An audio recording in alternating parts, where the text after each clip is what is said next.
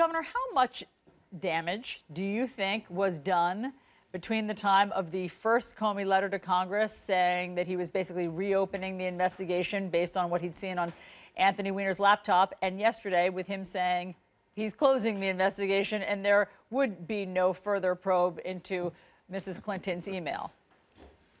Well, it certainly changed the momentum uh, in a significant way, but I think the more important part is that, you know, Donald Trump has revealed himself again and again that he, everyone's a liar if they don't agree with him. And if he thinks someone's guilty, he's going to make sure they go to jail. He's, you know, basically bragged about what can only be called sexual assault and then denied he ever really did it.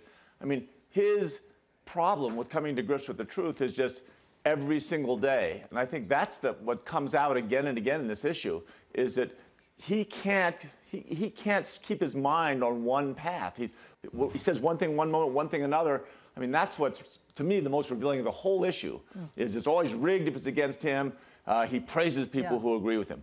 That's no way to be president. Governor, I can't help but notice that you pivoted away from talking about Hillary Clinton to Donald Trump, and I'm wondering if that's the strategy for these last 24 hours. If the campaign, if the Clinton campaign surrogates um, and the campaign are just going to talk about Donald Trump's negatives mostly. Well, because otherwise we'd have to attack Comey I mean, clearly he he made a statement 11 days ago that this could be relevant. He created all this expectation that there had to be something significant in this large collection of emails. Uh, and they went through and obviously sorted through them, found the ones that had to do with Hillary Clinton in any way, uh, went through them, and there was nothing. Again, there was nothing. So either we have to go and attack someone who, you know, the FBI maybe they're not perfect, and I think in this case, James Comey really wasn't perfect, but they are our government, right? They're doing the best they can. I think the vast majority of those guys, it's not rigged. I don't think he was out there trying to take down Hillary Clinton. I think he made a terrible mistake. I really do.